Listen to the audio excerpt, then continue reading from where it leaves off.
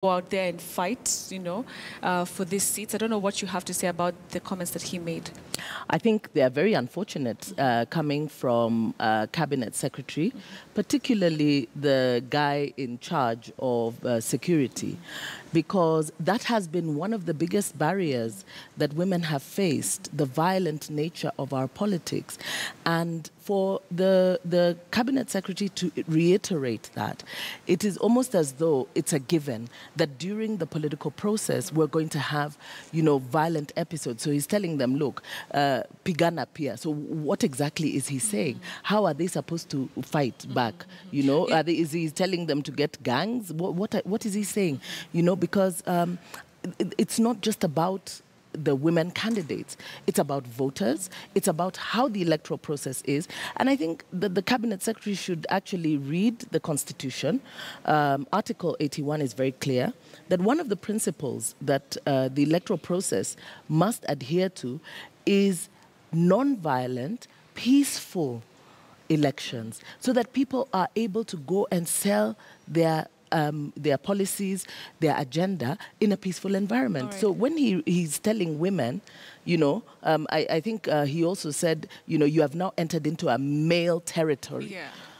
You know, statements like that ought not to be coming from the Minister for Security. And to think that he was uh, speaking to women, is it possible that maybe we are overthinking and over delving into what he had to say? Maybe he's, he was just saying, you know, women, you have to also uh, fight tena- tenaciously uh, for these seats. No, um, because one of the things that government has a responsibility to do is to ensure that we adhere to the constitution, Right. that they put in place an enabling environment. So we can't have government saying that the environment is already hostile, it is hostile to women, it is male dominated, mm-hmm. yet they are the ones with the responsibility in ensuring that it is not violent, mm-hmm. that women are able to actually go in and campaign freely without fear mm-hmm. for the security of their lives. And that peop- other people, uh, citizens, are able to go and sit in and listen. You know, so if the uh, environment is hostile, they have a responsibility to arrest the people who make that environment that way. So we cannot have government officials reiterating the negative aspects of our electoral process without actually saying how they are going to address it. Because he should have been telling the women yesterday that we know violence has really been one of the hindrances to you having, you know, uh, smooth campaigns. But as government and as cabinet secretary in charge of interior, I want to assure you that we have put every mechanism in place to ensure that you will have. Uh, you know, the campaigns will be smooth, they will be non-violent. Anybody who will be found engaging in violence will be arrested. We will deal with it. That's what he should have been telling them, not telling them wajipange. So how do you how do you tell people wajipange and you are the one in charge? If the government is telling us to jipange, that is like saying you're on your own. Okay. You know, that, those are those are unfortunate statements. And he is the one who needs to overthink. He should have thought through what it is that he's coming to tell the women. They should have sat together with his counterpart in the Department of Gender to actually say, look, this is the, these are the problems. I would, I would have expected at least uh, the, the, the cabinet secretary uh, for gender uh, to, to actually brief him that, you know, these are the problems. We need to put A, B, C, D in place. Even when he gives blanket statements like, we will give you security. Security. How many women candidates are there? How many women candidates are there? Because remember that we have already seen some very violent episode, episodes during the nomination process. And to their credit, the government really did have security agencies available to nip anything in the bud.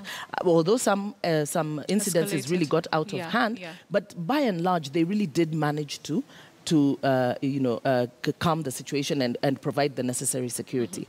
But let's not forget that this was happening at a time when individual parties, it was intra-party uh, uh, uh, uh, nominations. Nominations. Now you're going to have several candidates competing against each other. We have quite a few women. I know we have over Yes, a thousand many, many, yeah. women candidates, you know, from MCAs, gubernatorial candidates, and all. So when they begin to say that they are going to attach security to women candidates, how uh, how reasonable is that? You know, is that is is that the best way to go? When you talk about is that uh-huh. practical? When, when, it, when it comes to providing what you're saying, what do you think would be the best way to go about it? The best way to go about it was for would be for them to ensure that the environment, the whole that their- environment. the entire environment is peaceful enough for me to go out and carry my uh, carry out my campaigns without necessarily needing security, Security. You know, because if they are going to attach security to every female candidate, don't forget we have male candidates out there who are also campaigning, who will also be demanding security. At the same time, we also have supporters because you know the violence is not perpetrated candidate. Okay, some candidates do perpetrate violence against each other, but we find that also you know supporters um, also do Yes. uh, you know um, create violent episodes. You know, so the best thing to do would be to ensure that the environment as a whole is safe and that they know where the women are campaigning at any given time so that there is security there. To say that we are going to attach security to you so that in the event of a violent episode you're Yeah. spirited away, you know, that's not practical. And especially at a time like this when we've already seen um, there, there are several other security uh, uh, incidences that must also be attended to. How practical is it for him to make such a commitment to women? And when you are attaching security agents to candidates, you're also taking them out of you know the the, whole the, the whole arrangement. So what does that mean? For everything else, because it's not just about securing the candidate, it's also about ensuring that voters feel that they are secure They're to safe. engage with the process. Interesting. And uh, Daisy, it's interesting that you mentioned that because uh, there is a report that came out from Elections Observers Group, and they say that women uh, have been the most that have been caught up in the violent uh, rallies. We, uh, recently, we had a woman die Yes, in Bungoma. in Bungoma In Bungo- as a Bungoma, result yes. of, of this uh, of this uh, incident. So. It's interesting that you're saying that it's, it's about creating a, a wholesome, safe environment for everybody who is Absolutely. is participating. Absolutely. All right. So let's also talk about um, the environment. And you mentioned that you know right now we have quite a number of women going for for politics. What does it say about the political environment now? Is it improving, or is it just women coming out and saying, okay, fine, things may not be as perfect, but we'll still go out there and run for these seats? Well, the situation is definitely not perfect, uh, but uh, I, I think that um, the, the, the activism around women and leadership is making some headway because the women are also coming out. Okay. Um, but not so much coming out, but actually getting into getting seats with mainstream parties because that's really been the challenge. Because you know it's the mainstream parties that usually garner the most votes. So it's it's encouraging to see um, at the higher levels um, of governance that uh, women have managed to clinch, uh, you know, uh, dominant party seats. Uh, but having said that, it's still we still have a very long way to go, and of course, political parties have a role to play. They are the primary gatekeepers. So, because the political parties themselves are not fostering the inclusion of women, and nobody is also checking on them, because remember that uh, political parties are funded by taxpayers, particularly those that garner over 5% of the vote. They then qualify to be funded. Yes. Uh, they get a measure of monies. Now, 30% of the funds that go to political parties is actually meant to be used towards activities to encourage more women, youth, and persons with disability to get involved in the political process. This is not happening. Nobody is monitoring how political parties are then fostering women's engagement with the political process. So the political parties have have have remained you know the the the, the you know uh, male dominated and women still have an uphill task we've seen um, or rather we've heard uh, from female candidates you know you go through the nomination exercise Yeah. you win and then you hear your, your it. certificate has been given to somebody else. Yeah. There's, a, there's an incident of one woman who won her seat as an MCA. She's a sitting MCA as we speak, but she won the nomination. Uh-huh. Her, her nomination certificate was taken by one of the candidates in Mm. the area, and he called her and told her, you know, um, I have your certificate. If you wanted you give me money.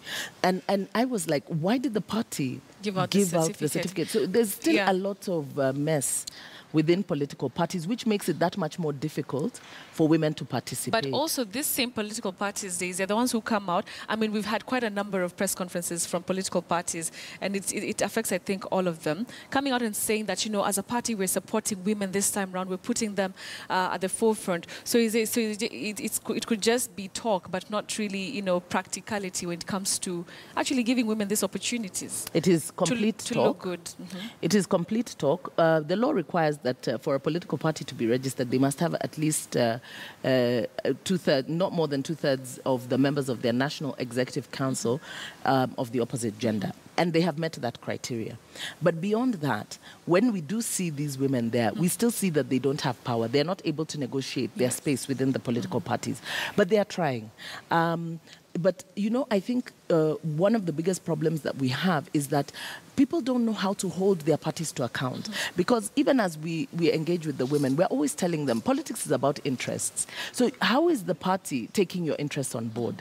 You know, when we look at these major coalitions, when we look at the campaigns, you know, as they, they are being run, um, we see more men. You know, when you look at Jubilee campaigns, it is the men in the forefront. Maybe when they are doing the women rep, you Yeah. know, when they are when when it's a campaign for the women rep, you will see the women, but you hardly see uh, you hardly see them in the making of the statements and everything. If it's not uh, the party leader or their presidential nominee and their their deputy president, you will find it is the secretary general who is speaking. Even when uh, Jubilee had. Um, a female secretary general, she's not the one who used to speak on behalf of the party. We, we've seen um, with NASA, I mean, NASA, we don't even see. I think Charity Ngilu has only just The- the joined the line lineup. Yeah. But uh, when statements are being made, usually it is the men who are making them. Uh, It is the men But we who. have uh, Agnes Zani, who's. Uh, she is the secretary general, but you, but you've also seen how that has gone. You know, in terms of uh, being able to make certain decisions. Mm. You know, it's almost like uh, they're they're just there for uh, show. So I, the question that we ask is. How much power do they wield? D- when a woman sits in as Secretary General, Mm-hmm. is she as powerful? Does she have the same powers that a man That a sitting in the same position hold. has? Because you know, look at uh, Raphael Tuju as Secretary General. He is he's the one who articulates the party position. Mm. Remember when Veronica Maina was the Secretary, Secretary General, and he I think was the um, I don't know what if, if, he was the pa- He- party deputy party leader, he had not joined that time, Raphael Tuju. but he was the one who was articulating Yes, yes, the party yeah. position still, despite her being. So, so you see, when we, when we look at that, it, it also tells you the, the decision making within the party, the organs, how they go about it. So I, I think that. Um, in terms of even being able to negotiate, because we've had senior women Mm-hmm. in uh, in parliament uh, from these political parties, and yet none of them have been able to push their parties to ensure that at least uh, you know the, the, the two thirds, even if in the absence of legislation, Yes. that the party puts in place mechanisms to ensure that at, at least a third Yeah. of, of, of the women get in. We have women leagues in these parties, and we keep asking them. "Uh, Why are you not pushing your parties? Because women are great mobilizers. You heard also Nkaissery yesterday uh, saying that he owes his political career to his wife. Yeah. You know, she's the one who was bringing in the votes. And that is by and large very true. A lot of the women are the party mobilizers. They are the mobilizing machinery Behind the for, scenes. for, for the political parties. So it's unfortunate that they've not been able to translate that into a capital that can help them negotiate with their parties for space. Because if you look at the heavy handedness of uh, the way the application of the law, it is the women who have been hit hardest. Margaret Wanjiru was incarcerated. I mean, she was locked up for a few Yeah. days for uh, doing stuff that you know we saw several other people doing, but got away with it. And we're not saying that women should get away with it, but we are saying we don't want to see selective It application of the law. application of the law. All right, Daisy will continue the conversation, but before then, I want us to also talk about something that IBC is doing. And uh, Bungoma Governor Ken Lusaka and a member of parliament are among 14 candidates who will appear before the Independent Electoral and Boundaries Commission Code of Conduct Enforcement Committee.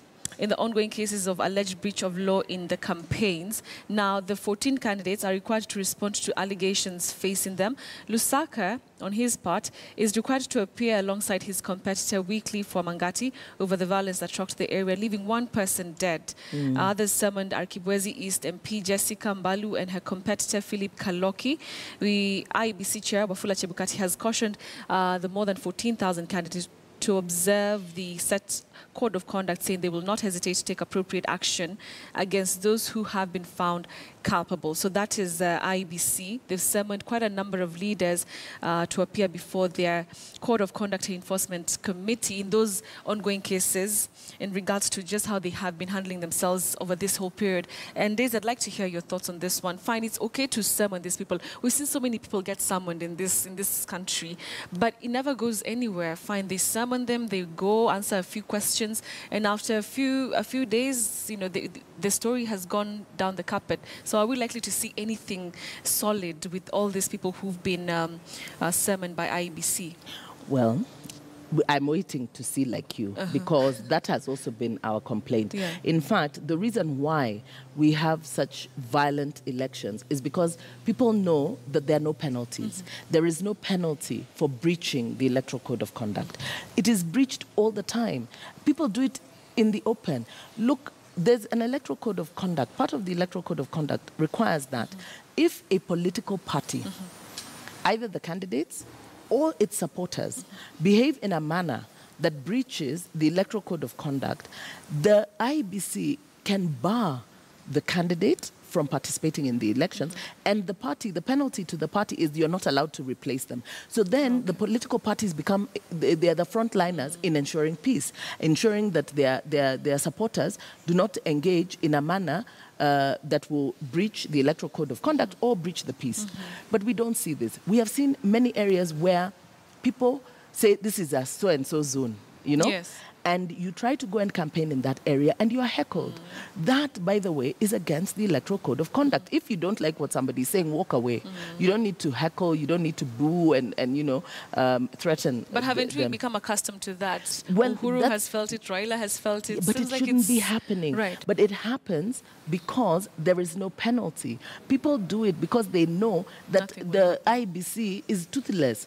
The other thing is, remember what the legislators did. Mm-hmm. They removed the powers of IBC to be able to prosecute or execute these uh, penalties, Yeah. and they have moved it to the DPP, right? So when IBC is calling these guys, perhaps the most they can do is, uh, you know, slap them with a fine. Now, if you're slapped with a fine of 50,000, because I think those were some of the fines that people were being slapped with, you know, you've, you've created violence, you've, your, your supporters have beaten up your opponent, you are called, you are slapped with a fine of 50,000.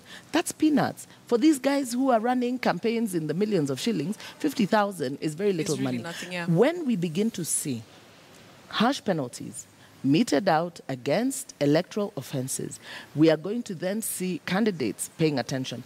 Please remember the elections of 2013. People uh, look to these elections and say that they were peaceful. But why were they peaceful?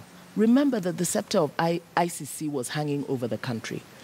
But because of that threat, our politicians were very keen on how they carried out their Yes. campaigns because they did not want to be seen as inciting anybody, Anybody. to violence. Yeah. The media were also very keen on how they reported stories. So it is a collective exercise. Now, when people know that there is no, you There's know, uh, penalty, Penalty. and we have this attitude in Kenya of umtadu, you know, because this violence is not just uh, the violent episodes like what uh, Governor Lusaka is being called for, because it is in Bungoma where the woman died. The woman died. She was in the market. She was in the market. She wasn't even part of the campaign. yes. She was in the market. But because of the violence of these uh, two opposing sides, uh, life was lost. Really, to show the value of human life, harsh penalties must be meted out because that woman will have died in vain if nobody goes punished Yes. for this. But aside from that, there's a lot of verbal violence, particularly against women. where women, um, I think there was an episode where Joyce Laboso was campaigning and they began to demand of her that they wanted to know where her husband was. Really? By the way, those are part of electoral offenses because my role is to come and sell my policies, Yes. my ideology, my manifesto. It's not about mudslinging you. You know, where's Betty's husband? And you know, she was married. She's barren. She's you know, she's not married. You know, those kind of things, discrediting you at a personal level. Yeah. IBC is not reining that in. How is the media covering them? You saw the other day headlines cat fight in Kirinyaga. What, cat fight, really? These are women leaders. Why is it when women are engaging, suddenly it's a cat fight?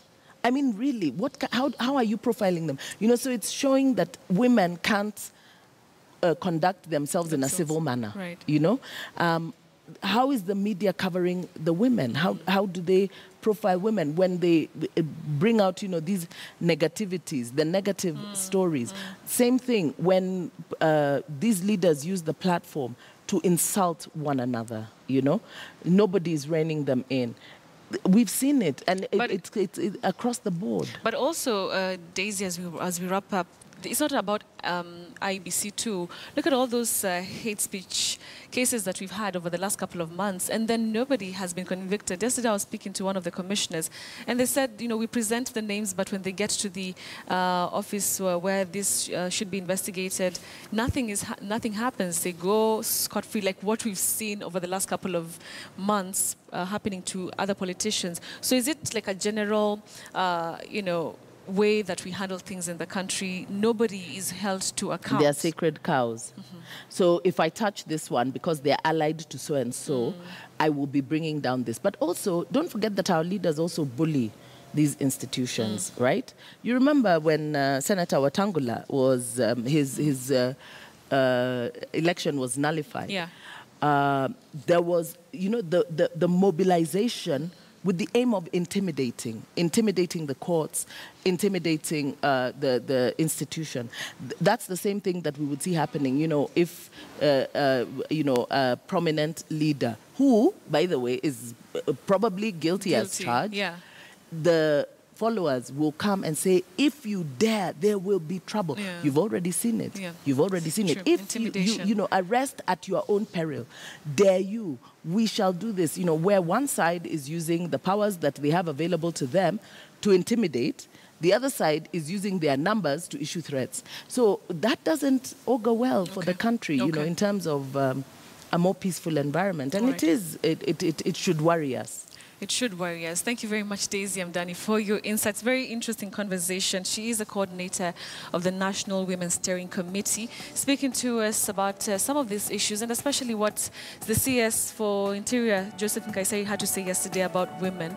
Um, very interesting views uh, here in studio. Thank you very much for staying with us. We'll take a break right now. And when we come back, we'll be beginning our second hour of the show. Don't go away. We still have quite a number of other conversations coming up shortly. Don't go away. We'll be right back.